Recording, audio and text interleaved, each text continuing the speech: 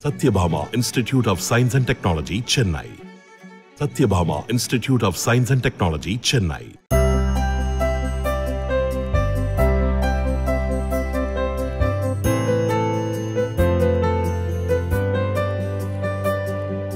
விழுப்புரத்தில் ஏரி குளங்கள் கிணறுகளில் பிடிக்கப்பட்ட முப்பத்து மூன்று ஆமைகளை பறிமுதல் செய்து ஆந்திராவைச் சேர்ந்த நான்கு சிறார்களிடம் வனத்துறையினர் விசாரணை செய்து வருகின்றனர். விழுப்புரத்தை அடுத்த பாணாம்பட்டு பிரிவு சாலை அருகே வனத்துறையினர் சோதனையில் ஈடுபட்டு வந்தனர். அப்போது அந்த பகுதியில் வந்த நான்கு சிறுவர்களின் பைகளை பறிமுதல் செய்து சோதனை செய்ததில் அவற்றில் முப்பத்து மூன்று ஆமைகள் இருந்தன. மான் வேட்டையாடுவதற்கு இணையான குற்றச்செயல்களில் ஆமை கடத்தலும் ஒன்று என தெரிவித்தனர்.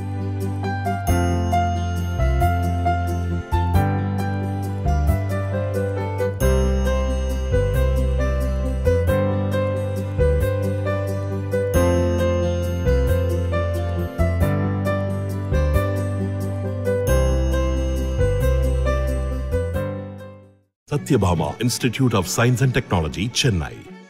Satyabhama Institute of Science and Technology, Chennai.